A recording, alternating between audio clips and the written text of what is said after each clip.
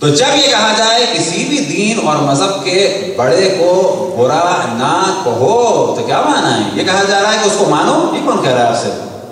आपको एक तरीका बताया जा रहा है कि उसको अगर बुरा कहोगे, वो बिलक जाएगा। फिर वो बात नहीं मानेगा। इसकी मिसाल हम ये देते हैं कि जब हमारे महाराज इस्लाम फरमाते हैं कि इंडिया में गाय को ज़िबा करना जायज़ नहीं है तो कतर ये माना नहीं है कि अब आप गाय को गाऊ माता मान के पूजें। आप कहें कि जी आगे हकीम ने भी कहा था गाय को इंडिया में ज़िबा नहीं करना चाहिए। आगे खुद ने भी कहा था, इमाम खमैनी ने भी कहा था, बस हम गाय के सामने ऐसे खड़े हो जाएँ। कहा जाएगा ये तो उन्होंने नहीं कहा। उन्होंने ये कहा है, क्योंकि गाय के ज़बा करने से फितना होता है, फितने के बाद कत्ल होते हैं। कितने गाँव जला दिए गए, बाज दफ़ा अहमदाबाद में लड़कियों की आबरू को पामाल कर दिया गया गाय को ज़बा करोगे, मुसलमानों की जान जाएगी। मुसलमान लड़कियों की आबरू जाएगी, बस गाय को ज़बा ना करो। ना ये कि वो ये कह रहे हैं गाय को गाओ, माता मानो। बस अब आपसे कहा जाए, किसी के बड़े को बुरा ना कहो तो मुराद ये नहीं है कि मनतकी तौर पर डिस्कस ना करो। नहीं मनतकी तौर पर डिस्कस करो। लेकिन उसको तैश ना दिलाओ। तैश दिलाओगे भाग जाएगा। भागने के बाद क्या ये लो पैसे, मारो हमारे ये काम हो रहा है। आप सामने वाले को तैश दिलाते हो कहता है भागने बड़े लोग, बुरे लोग ये लो पैसे, इनको मारो। काम क्या करना है? मनतकी काम करना है। एक काम जो इतफाक से उर्दू में बड़ा अच्छा हुआ, लेकिन फिर वही बात, कि जब कौम एजुकेट ना उसको नहीं पता चलता अच्छा क्या हुआ, बुरा क्या हुआ। फिर जब वो बात होती है तो लोग कहते हैं कि आप उनकी तारीफ़ कर रहे हैं। हर आदमी की तारीफ़ की जाती है खास चैप्टर में। अगर आइंस्टाइन की तारीफ़ की जा रही है तो उसमें की जा रही है फिजिक्स के मौजूद में। अगर हम कहते हैं आइंस्टाइन जो है, वो बेहतरीन आदमी था तो उस वक्त बात हो रही है फिजिक्स के मौजूद में। कल को आप कहेंगे मौलाना जो आइंस्टाइन के दीन की तारीफ़ कर रहे थे दीन की तारीफ़ नहीं कर रहे थे। तो ये समझना चाहिए कहाँ बात हो रही है। मिसाल के तौर पर उर्दू में काम हुआ कि फिर आप अर्ज़ करें कि लोगों की तवज्जो नहीं है तो जब उनकी बात होती है तारीफ़ से, क्या उनकी तारीफ़ कर रहे हैं? हाँ उनकी तारीफ़ कर रहे हैं, इस काम में तारीफ़ कर रहे हैं। वो काम था मौलाना मौदूदी का खिलाफत हो, मलूकियत। अच्छा काम था ज़रूरत का काम किया। उर्दू जबान में था, ज़रूरत का काम नहीं हुआ था, पढ़े लिखे लोगों में। कि जो गली गली कुचे कुचे फिर आज़ाद हो, और आज़ादी से फैलाया जाए। अच्छा काम था वो। लिहाजा बहुत सारे प्रॉब्लम सॉल्व हुए। बहुत सारे मौजूद जो हम डिस्कस करते थे, वो उनके ज़रिए से आगे आए। तो इस जानब तवज्जो रहे कि जब भी कोई आलिम कहेगा कि किसी दीन के बड़े को बुरा ना कहो तो वहाँ पर क्या वो कह रहा है? बुरा ना कहो। पूछा जाए, क्यों? तो कहते हैं, कत्लेआम होता, नुकसान होता। इंडिया में गाय को जबा ना करो, ये चीज़ें क्लियर है। हत्या अगर आप यहाँ अमेरिका में आपको पता है कि एक टोला यहाँ पर भी है, शैतान परस। शैतान का एहतराम करने वाले। मुख्तसर से हैं लोग, जो खसूस बाज लोग म्यूज़िक में हैं। अब मुमकिन है कि बाद में क्या कम है कि ज़्यादा है, क्या है, क्या नहीं। बिल आखिर है एक ग्रुप खुद हमारे दोस्त ने भी शिरकत की। और कुछ उसमें जो गाने वाले हैं, थोड़ा बहुत रिलेटेड हैं उससे। फ़र्ज़ करें कि आपको ख़तरा है कि ये सब मारेंगे, पीटेंगे। अगर आप शैतान को बुरा कहेंगे तो आप उसके सामने जाते ही बुरा ना कि उसको डिस्कस करेंगे, शैतान कौन? क्या है खसूसियत? क्यों एहतराम कर रहे हो? मनतकी बात करनी होगी।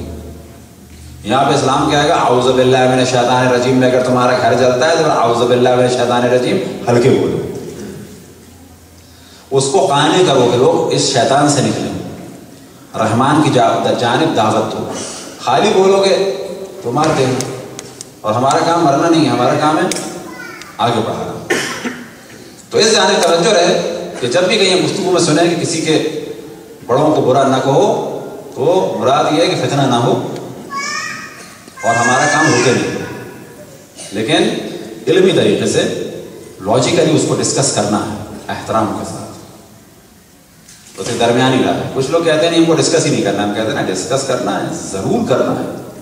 जंग जमल को भी करना है हरवान को भी करना है सफीन को भी करना है क्या आपस में उस ज़माने में जंगे हुई इख्तलाफात हुए, वो सब डिस्कस करना। और जब ये गुफ्तु हो, तबर्रा और तबल्ला तो तबर्रे से मरा देंगे ना, हम नहीं मानते, लेकिन क्यों नहीं मानते? वजूहत नहीं मानते। अच्छा हम मानते हैं मौला मेरे को ऐसी मानते हम वजूहत जो मानते हैं। बस दर हकीकत अगर मौला अमीर के दामन को हमने थामा है तो वजूहत है। और अगर किसी के दामन को नहीं थामा और उसके दामन को थामना अपने लिए नंग समझते हैं तो उसकी भी वजूहत है। बिला वजह नहीं है ऐसा। तो यहाँ से डिस्कशन शुरू होता है कि जिसमें एक मौजू यह कि अहल बैत का कोई मुकायसा नहीं है किसी से भी। किसी से भी कोई मुकायसा नहीं है। ला युकास में ही अहद। अब यहाँ पे देखना होगा कि मौला अमीर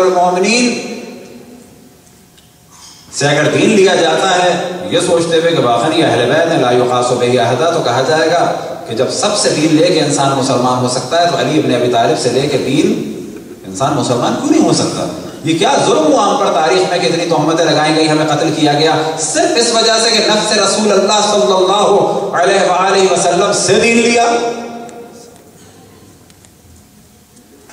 कोई मामूली मौजू नहीं कि उनसे दीन लिया? बाज दफ़ा जवाब में कहा जाता है, और इस एक चीज़ को भी जहर में रखना चाहिए बात दफ़ा बड़े आराम से कुछ लोग कहते हैं कि हम भी अहल बैत को मानते हैं, मानते हो सलाम, हो लेकिन हम एक सवाल करेंगे, अहल बैत को क्या मानते हो? अहल बैत को क्या मानते हो? बहुत अजीम मानते हैं, बहुत बड़ा मानते हैं। पूछो, इल्म में, बहुत इल्म में आगे। आप देखें, बाज़ अफराद हैं कि जो अहल बैत से, की बहुत तारीफें करते हैं, नात में, मनखबतों में, बहुत तारीफ़ करते हैं।